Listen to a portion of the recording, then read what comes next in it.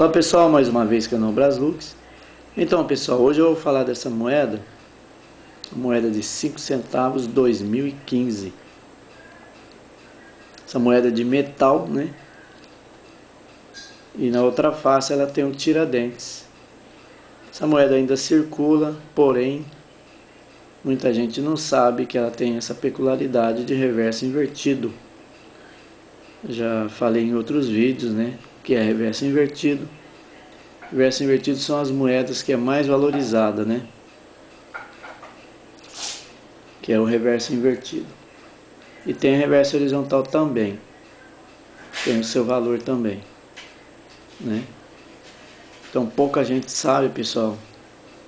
E, e é, é simples fazer o teste, é fácil.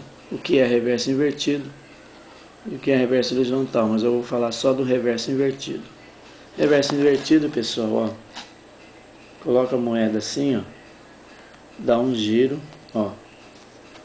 Se ela vier com a face de tiradentes aqui normal, assim, ó. Ela é normal. Se quando vocês virar ela,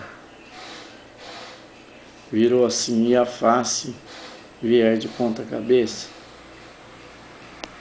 é reverso invertido. Essa aqui é 2015. É uma moeda nova, né? Ela vale 100 reais, reverso invertido. A pergunta é, ah, mas onde que eu vendo? Pessoal, o melhor lugar para vender é o Mercado Livre. Ou para colecionadores na própria cidade de vocês, né? Com certeza tem. Né? Tá marcando aqui no catálogo que vale 100 reais. E eu já vi no Mercado Livre também essa moeda para vender, não só essa, como outras também. Mas o catálogo, o catálogo é uma referência tiragem dela também é, nesse catálogo aqui, como não é atualizado, pessoal, eu não tenho o valor de tiragem aqui para formar para vocês ainda, porque esse catálogo ele é atualizado de dois em dois anos, né? Então esse ano vai sair o catálogo novo, né? Mas já tem aqui no, nesse, nesse catálogo aqui o valor de reverso invertido que é 100 reais né? Tá aqui, ó. Reverso invertido 2015 a 2014 saiu, olha lá pessoal, perto de 51 milhões de cópia. 2014, né? 2015 não está marcado. Ó. Tem sites aí que fala, né? Mas eu eu boto fé nesse catálogo aqui, né? Aí, ó, 100 reais reverso invertido.